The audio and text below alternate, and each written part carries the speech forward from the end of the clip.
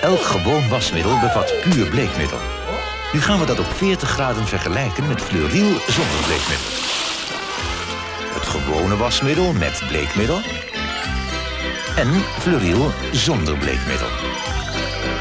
Kijk, links met het gewone wasmiddel hopeloos verbleekt. En met Fleuriel nog steeds als nieuw. Want al was u 10, 20 keer achter elkaar... Fleuriel zonder bleekmiddel houdt de kleuren als nieuw.